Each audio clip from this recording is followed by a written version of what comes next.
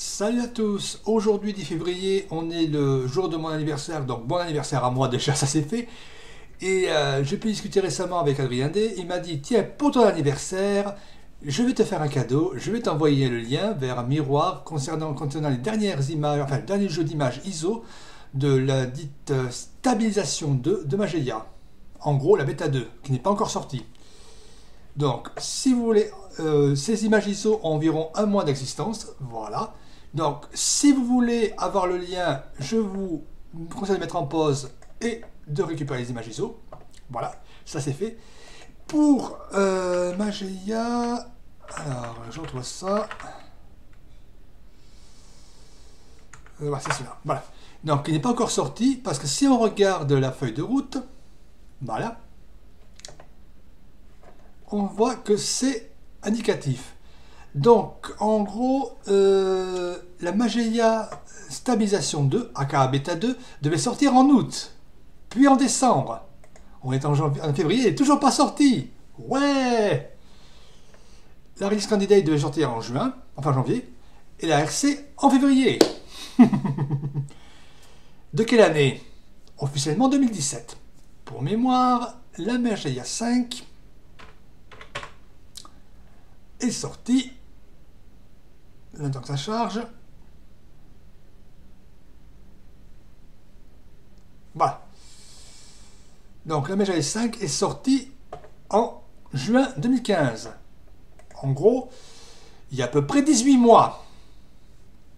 Avant qu'on me dise oui, tu es un anti-Mageia, devenu un anti-Mageia et compagnie, vous trouverez dans le descriptif des liens vers 4 articles chacun concernant une sortie de Mageia. Mageia 1 en 2011, 2 en 2012, 3 en 2013, 4 en 2014 et bien sûr la 5 en 2015. Cela fait plus d'un an qu'il n'y a pas eu de version majeure, mis à part une point release 5.1. Donc, j'ai voulu voir où en était justement cette version. Vous trouvez un lien vers l'article de blog dans le descriptif comme d'habitude. Donc je l'ai installé hier. J'ai pris l'image ISO du développement du DVD complet. J'ai pas pris une... J'ai pris l'ISO la plus complète qui existe, celle qui permet d'installer. D'ailleurs, je vais vous montrer un truc qui me fait un peu tiquer. Voilà, donc je lance temporairement, même si je ne pas jusqu'au bout de l'installation, et voilà, vous allez voir comprendre quel truc me fait tiquer. Donc, tac. Parce que quand même, les images ISO fait 3 Go 75. Donc je vais mettre juste en français. Et vous allez voir quel truc me fait tiquer. Donc je vais mettre là, c'est mieux. Voilà.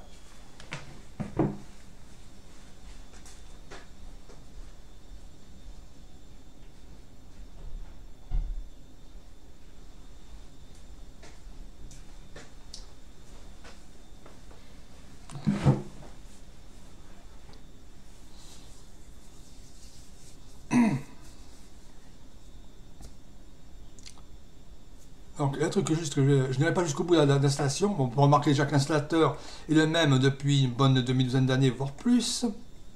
Pourquoi changer quelque chose qui fonctionne dans la présentation Mais ce truc que je vais vous montrer, c'est le truc qui m'a fait le plus ticker. Installation, même si je n'y vais pas jusqu'au bout. Hein. Français, clac clac. Et effacer le disque dur en entier, blablabla. Voilà, suivant. Ça ne sera appliqué qu'une fois ah merde, l'enfoiré m'a partitionné la, la, partition. Ah la saloperie. Bon, c'est pas grave, je mettrai la vidéo en pause et j'attendrai que l'installation soit terminée. Moi, ça vous montre comment ça s'installe. Et je me suis fait abord bêtement. Hmm. Je pensais que cet enfoiré ne ferait pas le formatage. J'avais oublié ça, c'est pas grave. Bon, comme ça, ça permet de faire l'installation complète. De repartir de zéro, comme ça on est sur certains d'avoir l'installation propre. Dommage pour moi. Donc la suivante.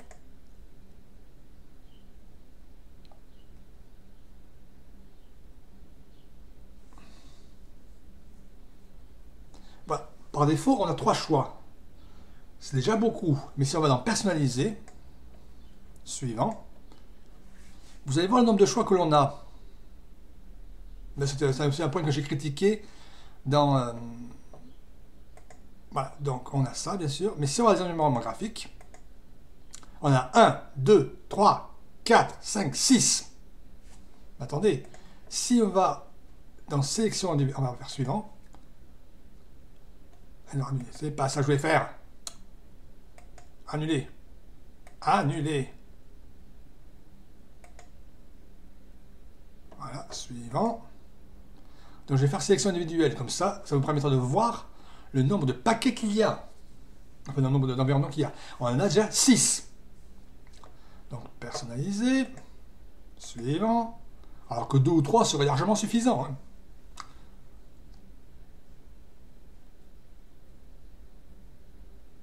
Donc on fait sélection individuelle. Clac.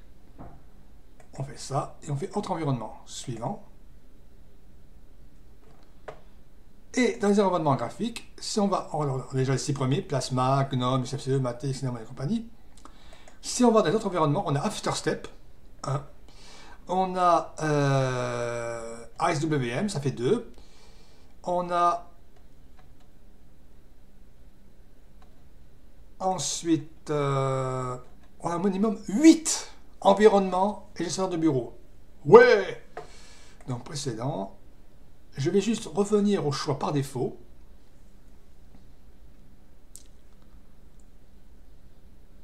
Alors, voilà.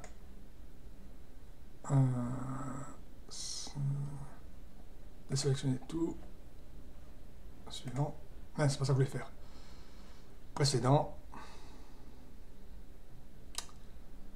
Et zut, je sais plus comment on fait maintenant. Alors, on va juste... Ben, je vais redémarrer. Nous sommes de retour 25 minutes plus tard. 25 minutes pour installer depuis un DVD. À quoi qu'on est allé au marteau au burin pour inscrire les données. Bref. Donc là...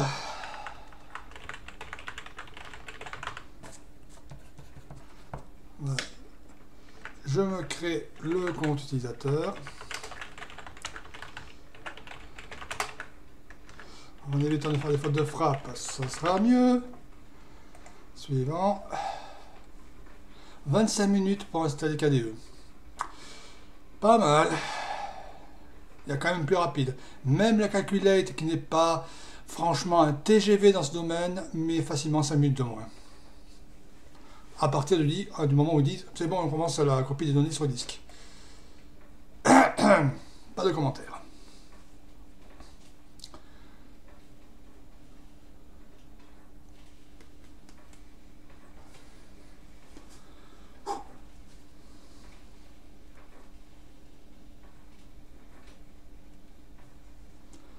Donc là, ça prendra quelques minutes.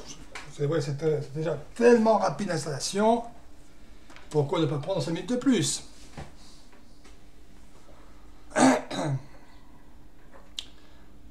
Au moins, ça vous prouve que la, version euh, utilisée dans la vidéo est fraîchement installée.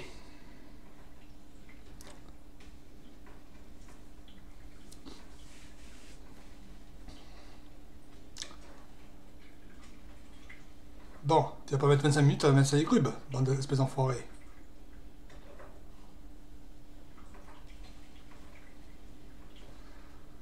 Allez, installe-moi grube, avance.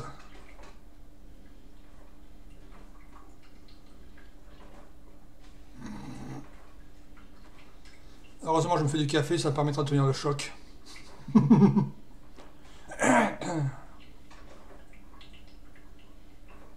Ça y est, il a installé Grub. Il y a encore au marteau au burin.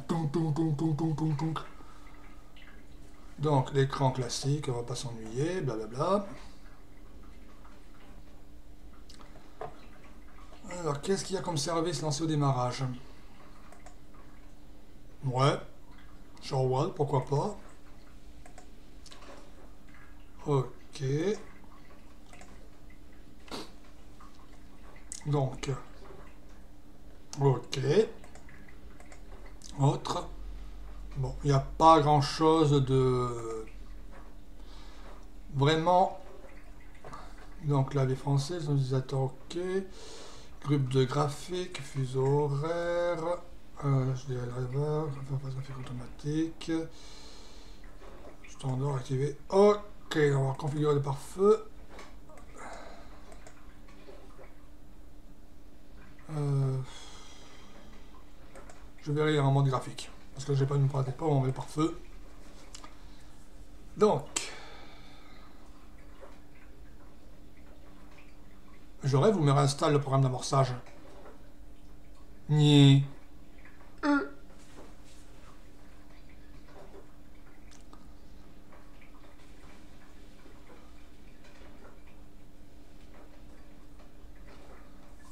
Euh, non, mais là, je, je pars du principe qu'une ISO qui demande ça a déjà un minimum des dépôts configurés. Donc je mets non pour le moment. Enfin, c'est le cas des distros modernes, donc on verra plus tard. Enfin, moderne, je parle, sorti depuis au moins 2012-2013. On va redémarrer.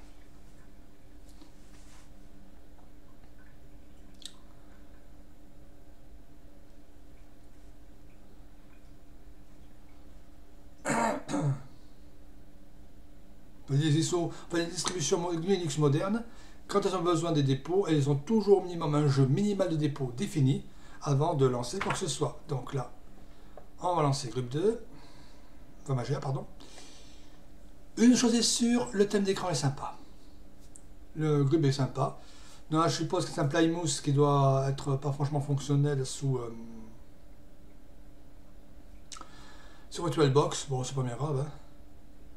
C'est pas le plus important. Le plus important, c'est de voir ce qu'il y a installé. Et dès que ce sera terminé, je passerai en plein écran, ce sera plus agréable pour l'affichage.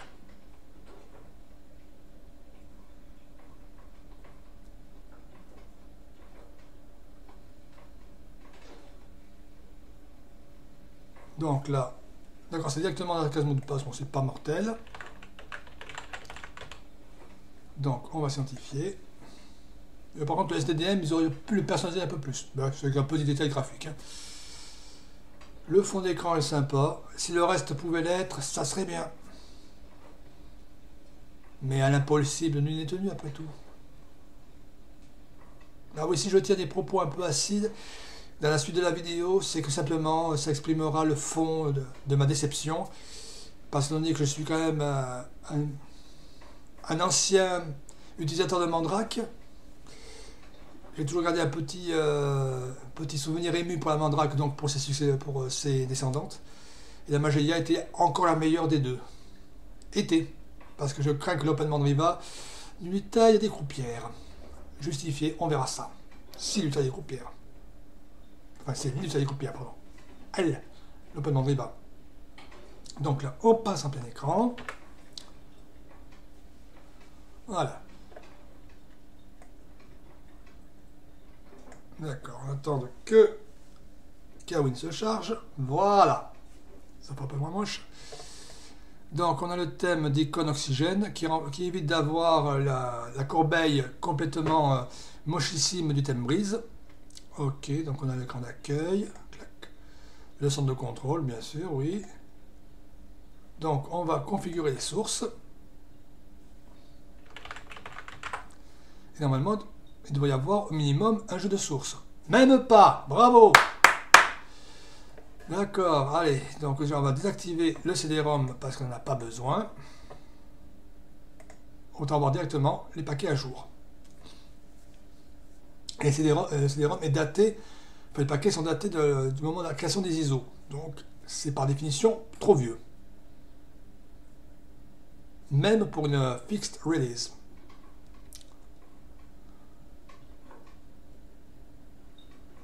Alors là, on va voir ce que ça nous donne.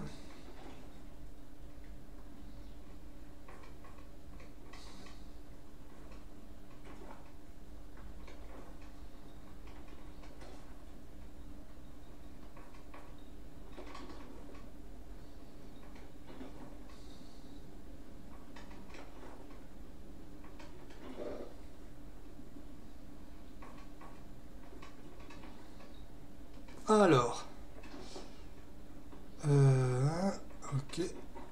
simple question. Pourquoi des paquets 32 bits Alors que c'est bien précisé que c'est une 64. Peut-être est-ce que c'est pour tout ce qui est Skype et compagnie? Donc il y a toujours ça. Ça peut provoquer euh, la surcharge pondérale, mais pas ça peu importe. Suivant. On verra après pour les mises à jour. Donc ça, on ferme.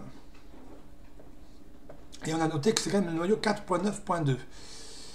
Et le noyau 4.9 est sorti en novembre euh, en décembre, je crois me souvenir. Donc c'est quand même assez récent. Donc on va sur console pour bien voir si. Euh, est-ce qu'il y a l'info center déjà? Ah c'est bien, il n'y a pas le centre d'information. Bon, pourquoi pas. Donc on va ouvrir la console pour vérifier que j'ai bien vu que c'était noyau 492. Voilà, donc vous voyez, c'est un noyau 4.9.2 compilé le 10 janvier. C'est pas ça, c'est CTRL SHIFT 0. Eh, bon, sans bonsoir, on peut-être mettre contre moi. Voilà. On va mettre affichage. Euh... on va fermer. Donc, on a déjà ça. On va déjà voir la Logitech qu'il y a installée. Donc déjà, on peut se dire qu'il n'y a pas l'info center, dommage. Donc côté internet, on a Aggregator, centre réseau, FileZilla, oui, Kaget, pourquoi pas. Et Kiga, euh, je ne sais pas si c'est encore beaucoup développé, Kiga, bon, pourquoi pas. FileRunner, euh, je m'excuse, mais c'est quoi cette antiquité? Apparemment, c'est un logiciel, je dirais, développé en TK, TK, oui, TCLTK, euh, qui n'est plus développé depuis 2012. Pourquoi pas? Pourquoi pas? Mais à quoi ça sert? Est-ce que... Quelle est l'utilité? Alors que Dolphin fait très bien son boulot. Pourquoi? Déjà, c'est la première question. C'est bon, c'est double clic. Déjà, ils n'ont pas fait la bêtise de mettre un simple clic. Alors, qu'est-ce qu'il y a d'autre? Bureautique. Donc, on a LibreOffice Calc. Scrooge, c'est pour gérer votre pognon. Oui, pourquoi pas. Graphisme, GIMP, Digicam, GwenView.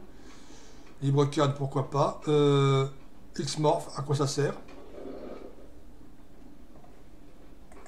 Xmorph, ça va être un vieux, vieux logiciel, je dirais, rien qu'à voir la présentation.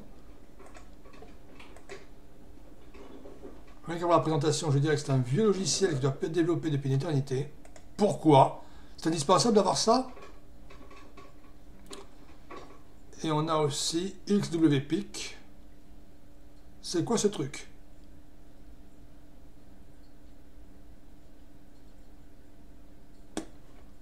Bref. Pourquoi? En son et vidéo, on a un Maroc, oui, pourquoi pas? Dragon Player, pourquoi pas? VLC, bon, ça fait un peu doublon avec un Maroc. Enfin, VLC et puis euh, Dragon Player et VLC font un peu doublon, mais pourquoi pas? Oui, on verra plus tard, merci. Un player, donc ça fait déjà un doublon avec VLC. Audacious et au Maroc. Bon, ça fait que deux doublons. Dans les outils, alors pourquoi on a X3270 E-terme, A-terme et console? Ça fait rien que quatre consoles qui existent. Ouais, enfin 4 accès terminal. Les outils système, donc on a bien sûr pas grand chose. Accessibilité, donc on a les trucs classiques. Je vais, hein, il y a quand même 1, 2, 3, 4 terminaux. C'est bon, ça vous suffira? Développement, bon, ben, il n'y a pas grand chose. Euh, outils scientifiques, on a que les Math. Déjà, la Logitech me paraît bizarre. Donc, on va voir au niveau des mises à jour.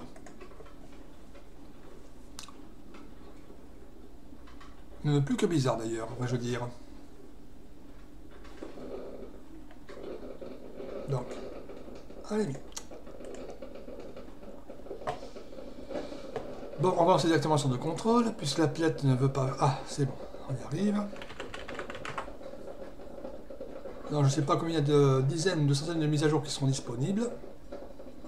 Donc on va, on va mettre à jour le système.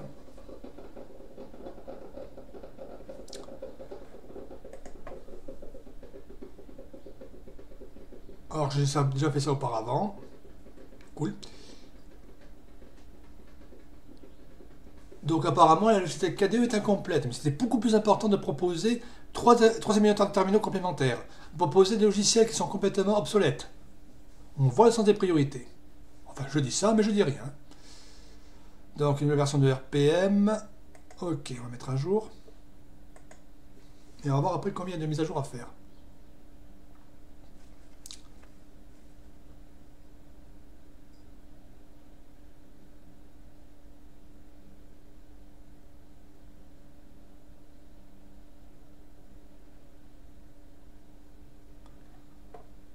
Ok, On verra plus tard. Ok. Donc on recommence les mises à jour. Vas-y, d'accord. Si on essaie de fermer ça, ça ferme ça aussi. Bravo, d'accord. Cool. Ah, soupir. On va dire 200-300 mises à jour.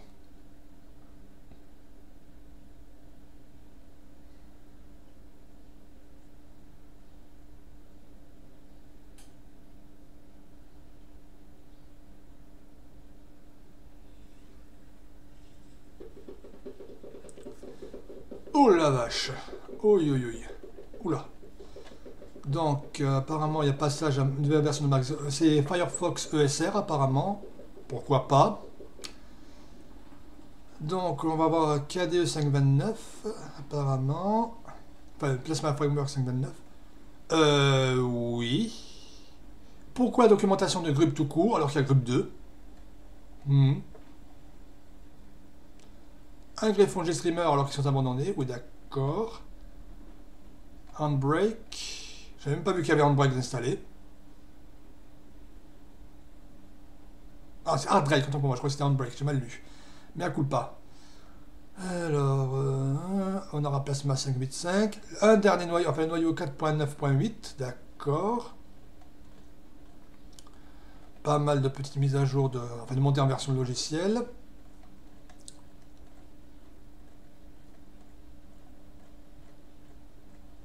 Donc là, c'est le passage apparemment. Par contre, c'est que Qt 5.6. c'est vrai, on ne peut pas non plus euh, mettre tout, tout un jour, sinon ça ne jamais une version finale. Pardon. Alors, euh, ManPage FR, ok, MariaDB, Matépolkit. Je me demande pourquoi Matépolkit est installé. Hmm. Pourquoi?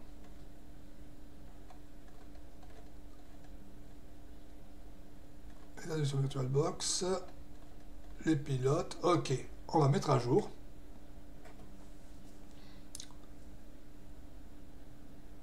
il y a 264 paquets à mettre à jour, ok. vous allez voir un truc qui me fait un peu tiquer, c'est la mise à jour par lot. C'est-à-dire on prend par exemple 10 mises à jour, crac on les met, 10 autres mises à jour, on les met. je vais vous montrer ça. donc c'est ça. Normalement, j'espère que ça va pas planter l'affichage.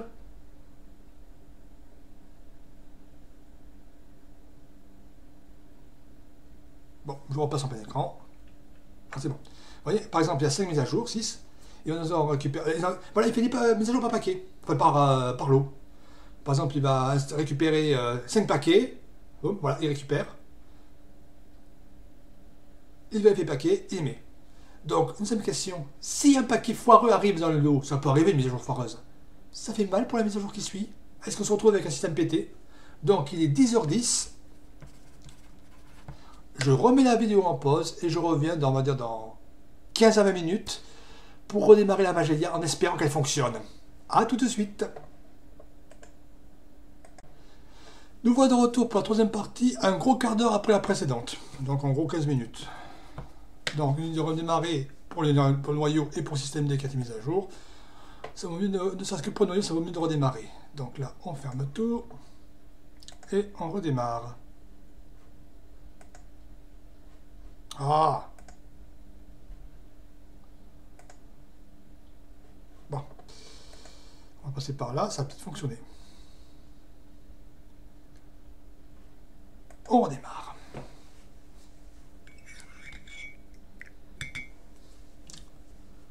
Donc je repasse en plein écran.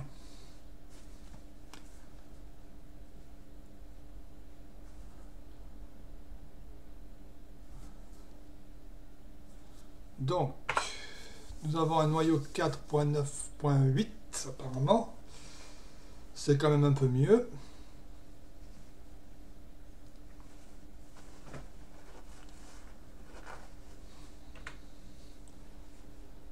Donc système D en dessous, bien sûr.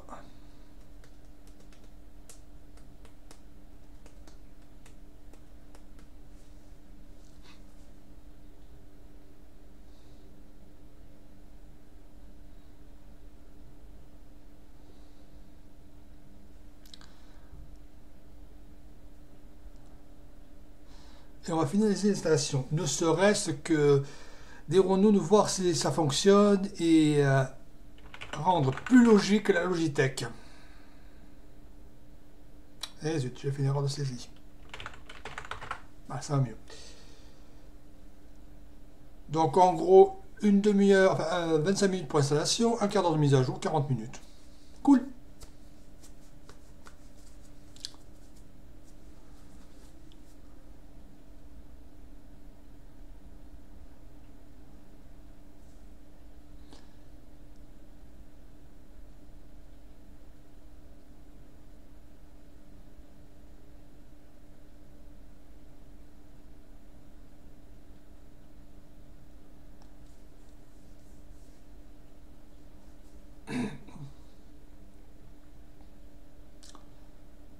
Donc c'est le 4.9.8.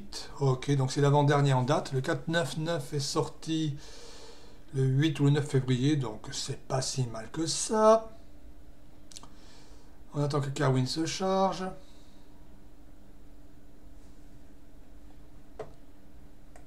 On ferme.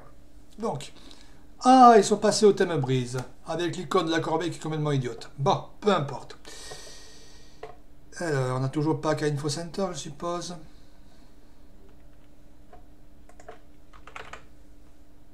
Mais non, pourquoi avoir un outil utile comme Info Center? Est-ce qu'on a le moniteur système? Euh, Même pas. D'accord, on ne sait même pas combien ça consomme, c'est pas important.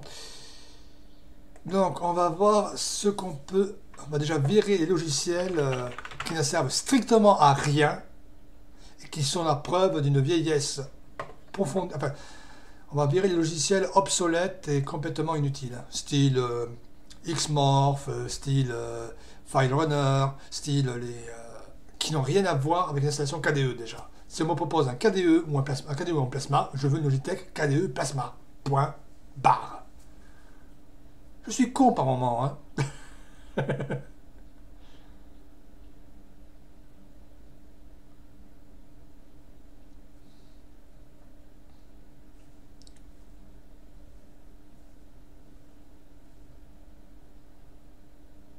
J'adore la vitesse de l'ensemble. Je veux bien sur une machine virtuelle, mais quand même,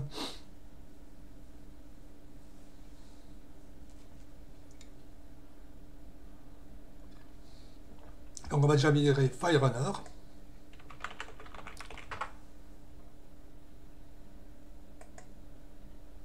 Ensuite, on va virer Xmorph.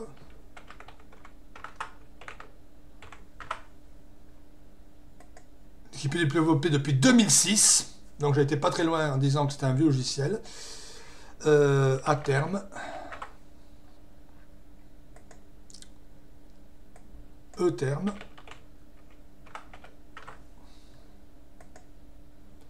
et X3270. Voilà, ça nous fait déjà gagner 10 mégas. Que ça, 10 mégas de logiciels euh, qu'on pourrait considérer comme euh, inutiles. On peut aussi virer Audacious parce qu'il y a, euh, il y, a, il y a Maroc, donc autant l'utiliser. même si on considère qu'un Maroc est un peu vieux, autant l'utiliser parce que c'est un logiciel KDE. C'est une question de, il y avait After Step and Step. What the F? Donc, on verra les orphelins après. Donc là, on va voir... Euh... Vais essayer de trouver qu'un Info Center. Ne serait-ce que déjà ce premier paquet.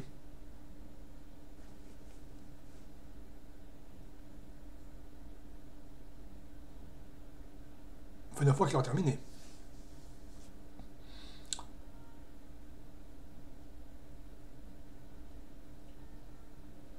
Qu'est-ce qui peut être long? Sais pas si c'est la vieillesse des outils euh, du RPMI et compagnie. D'ailleurs, il y avait le projet de euh, mettre DNF sur Mandrake, enfin sur euh, Mageia. Peut-être pour combler le problème de vitesse, mais je vous montrerai ça après. Alors, on va chercher Info Center. K-Info Center, voilà. Qui demande 6 mégas et demi. Au lieu de 10 mégas de crapware, ils auraient pu mettre directement le cas Info Center. Enfin, je dis ça, mais je ne suis pas mainteneur. Voilà. Donc là, on, va savoir quelle est la version de Plasma au final. Et Taras. Information. Centre d'information, le cas Info Center. Donc on sera déjà, on va savoir à peu près où on en est côté logiciel. Donc on a Plasma, KDE Frameworks 5.29, oui d'accord. Un noyau 4.9.8, d'accord. Les frameworks 5.29, ok. Qt 5.6.2, bon, est un peu vieux, mais c'est peut-être aussi les choix de la Mageia par rapport au gel des paquets. On voit que la stabilisation fait très mal, pour la longueur de stabilisation fait très mal au niveau de la fraîcheur des paquets. Bref, donc là, on va voir si on peut se récupérer la suite de la Logitech KDE. Je crois qu'il y a des métapaquets qui s'appellent Task quelque chose de mémoire. Donc on va essayer de voir si on peut trouver quelque chose qui colle avec KDE. Une fois que URPMI aura fait son boulot. Ah, mais tant que ça fonctionne là, je vais euh, aller sur le wiki Mageia par rapport à DNF. Parce qu'il voulait importer l'outil de Fedora à une époque.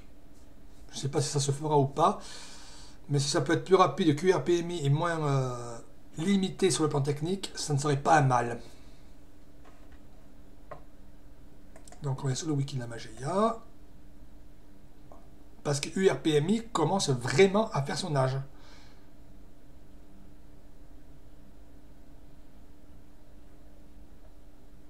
Hmm.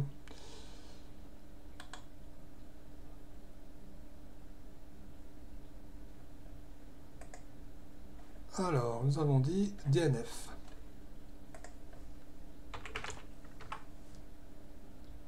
Qui est une bombe au côté vitesse. Voilà, using DNF.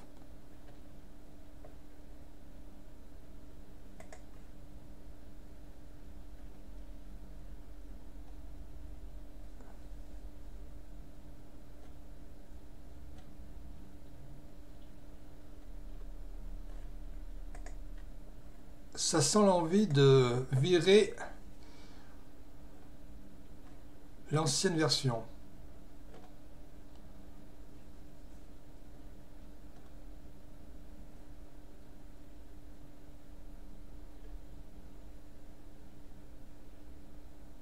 Ils sont à 90% de, de port.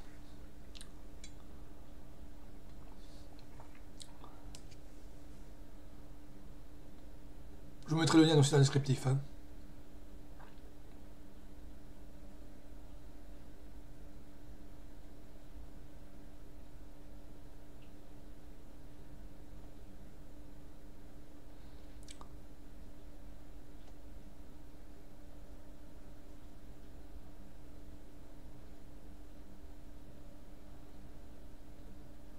En gros, euh, si on lit ce qu'on peut lire, c'est qu'il dépend de trop de ERPMI et compagnie pour migrer, migrer rapidement et gagner peut-être un peu en puissance et en, facilité d'utilisation. Donc on va rechercher les paquets task. Donc là, on va étirer un peu. Alors, voyons. Euh, Kodiak Audio, non, c'est pas ça.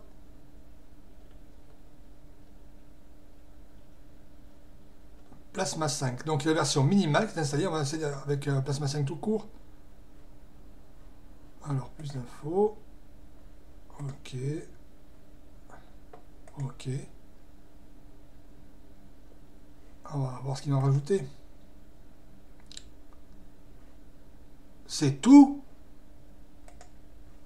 Mais il n'y a rien qui est rajouté. Mais il n'y a rien du tout. Qu'est-ce qu'on fait de certains outils? D'accord, pour avoir une Logitech le passe-main complète, c'est un peu la mouise.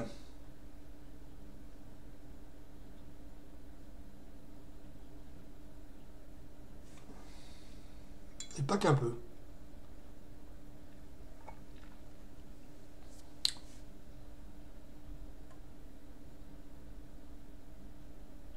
Ouais, contient les dépendances complètes pour lancer euh, l'entièreté de plasma 5, c'est cela, oui. Euh, ce, paquet est un métapaquet euh, dont le but est de contenir toutes les, dépendances pour euh, lancer Plasma 5. Toutes vraiment? Donc je vais chercher KDE application. Rien. Rien.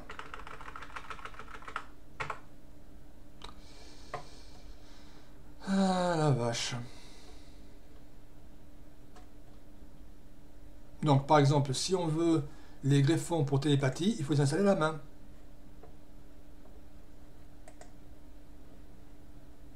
Télépathie, c'est le... pour conversation et compagnie. Donc, on va voir ce qu'il y a comme autre outil. On va chercher, moi, je sais pas, euh, monitor. On va voir le monitor système.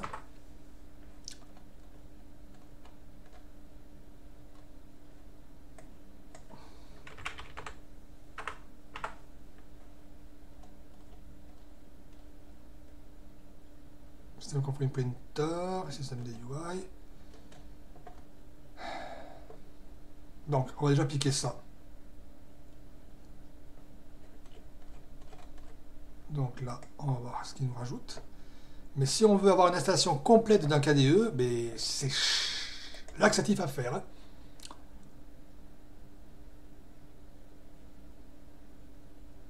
Ce n'est même pas la peine d'y penser, sauf à passer 8 jours dans le gestionnaire de paquets pour tout installer.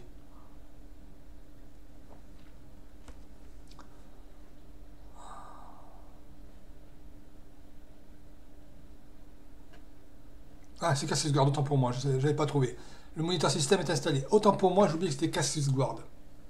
Mais c'est vraiment très incomplet. Il n'y a aucun jeu. Même, même si on n'est pas joueur, quand même, les jeux de KDE, c'est à des choses, des installer. Donc on va voir, il y avait Task Audio, j'ai vu ça, Task Audio et vidéo pour rajouter des codecs. Pour pouvoir peut-être utiliser un peu l'ensemble.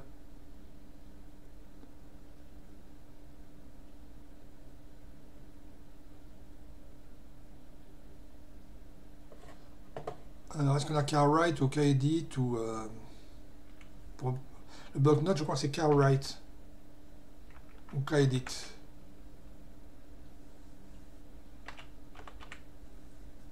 Ou Kate, je ne sais plus. Il n'y a même pas d'outil de bloc-notes. Joie.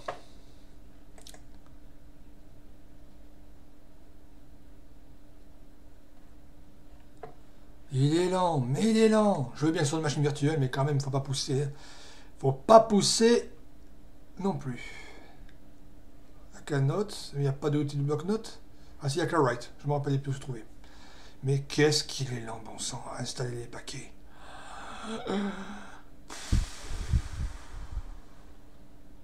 Non mais c'est d'une horreur, hein. Une horreur. Je sais bien qu'on pas, pas des paquets tous les jours. Mais merde, si on a besoin d'installer des paquets, on est obligé d'attendre 8 jours que ça s'installe. Donc on va voir si LibreOffice est bien traduit au moins.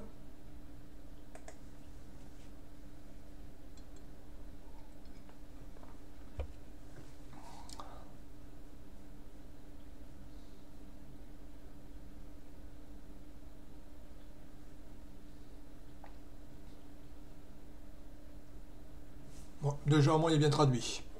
C'est déjà un bon point. C'est peut-être le seul bon point que j'ai vu jusqu'à présent. Parce que là, les mauvais points s'accumulent. Hein. Oui, donc, task. Ne serait-ce qu'installer les codecs audio pour, pour pouvoir lire ces fichiers audio. N'est-ce pas? Si on a des fichiers MP3 ou autre, qu'on puisse les faire lire. Mais je ne veux pas de ça. Alors, mais punaise, ah, il est coincé dans le forêt ou quoi?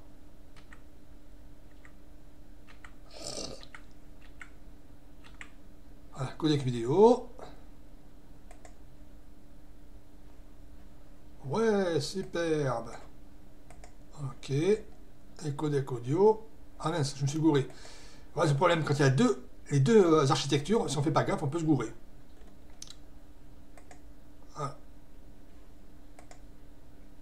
Et on applique. Ok. Non mais là, euh, et puis euh, c'est vrai aussi, là, le problème, euh, c'est que les ISO ne sont toujours pas sortis. Et il y a un lien vers les bloquants que j'ai mis dans le descriptif qui annonce qu'il y a 20 paquets bloquants. Alors là, je vous montre carrément la, la capture d'écran parce que je l'ai faite.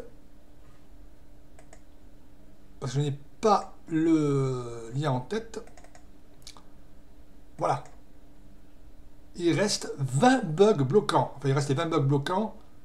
Vous avez vu, là, c'était, euh, j'étais avec euh, quelqu'un d'autre, donc c'était en pleine discussion Discord.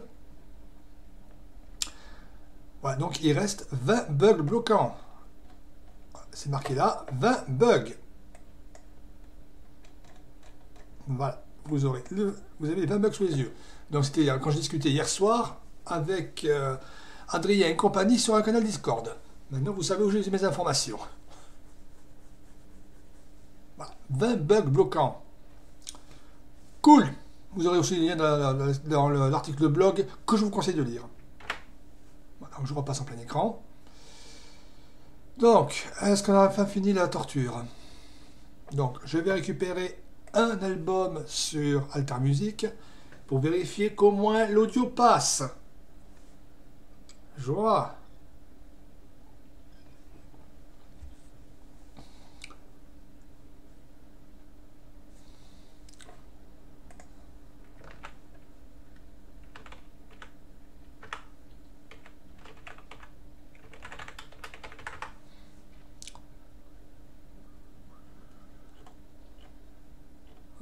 prendre n'importe lequel, on s'en fout. On va reprendre l'album de punk méticuleux. Donc je vais le prendre en basse qualité.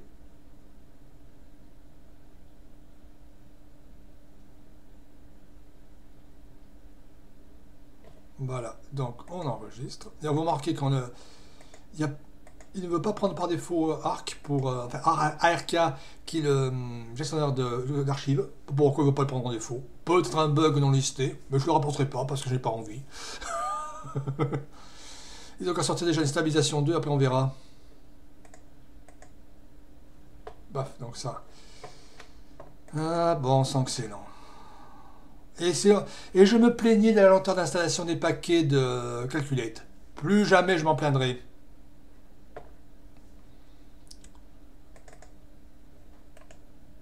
Donc on va extraire ici, en espérant que je ne me suis pas gouré au, niveau de la configuration du son. Donc, ok, musique, coller. Voilà. Donc là, je ferme ça, je ne veux plus entendre parler tellement qu'il est donc c'est une horreur. Et on va lancer un Maroc. les vidéos à Maroc. Alors déjà s'il le reconnaît. Je vais plutôt prendre Audacious, mais là dans l'autre, autant prendre un Maroc, qui est un logiciel Plasma, enfin KDE à l'origine.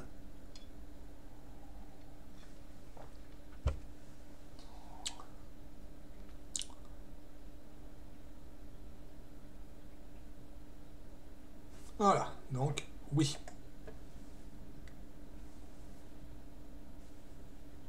on va avoir déjà essayé du son.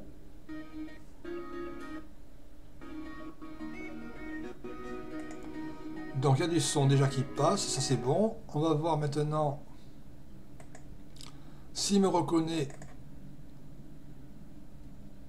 le format MP3.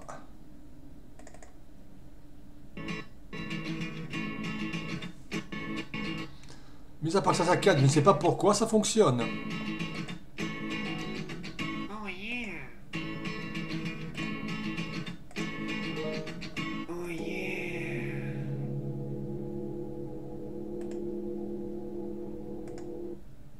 Apparemment, il me lance aussi comme ça, donc je sais pas pourquoi il me l'a lancé. Bref. Alors, je vais carrément arrêter le massacre parce que là, c'est même pas la peine d'en rajouter. Euh, je crois que je peux passer à la conclusion.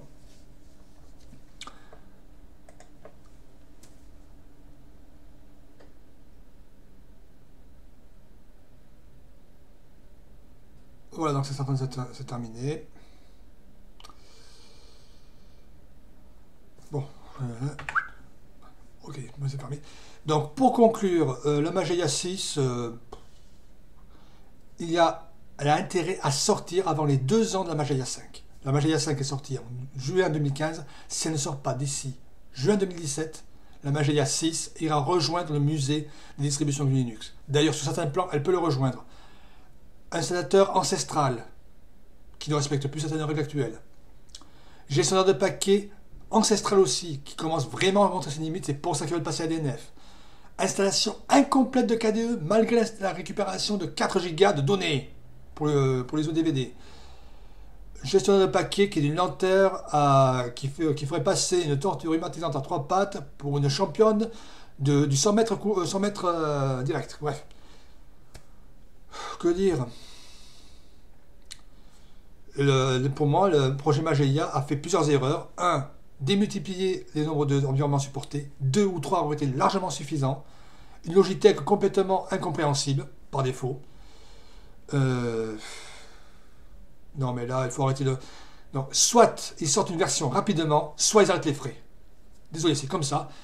J'exprime la part d'une personne qui a utilisé à l'époque l'ancêtre de la Mageia. Première, la première fois que je suis vraiment, vraiment fait du monoboot, c'était avec l'ancêtre de la Mageia, c'était la Mandrake 9.1. J'étais resté 4 mois avec la Mandrake 9.1. Mais sur certains plans, on retrouve les mêmes problèmes qu'il y a 10 ans, 12 ans. Gestion de paquet d'une lenteur effroyable, URPMI, euh, qu'on se demande s'il ne faudrait pas le mettre à la retraite et passer à DNF, mais comme on a pu le voir dans la vidéo, il y a des problèmes par rapport aux outils qui sont trop dépendants des DNF. Non, moi j'ai quelque chose à dire. Euh, bon courage, hein, si vous voulez utiliser Mazia, c'est bon courage. Hein. Moi je ne la conseillerais plus maintenant. Hein. Si on me demande euh, si, tu veux conseiller une distribution stable en fixed release et supportable sur le long terme, je conseillerais DF Linux ou Debian. Pour une personne qui cherche des release. Voilà. La messe, euh, la messe est déjà à dire. La vidéo est terminée. J'espère qu'elle vous a plu. Je vous dis à la prochaine et salut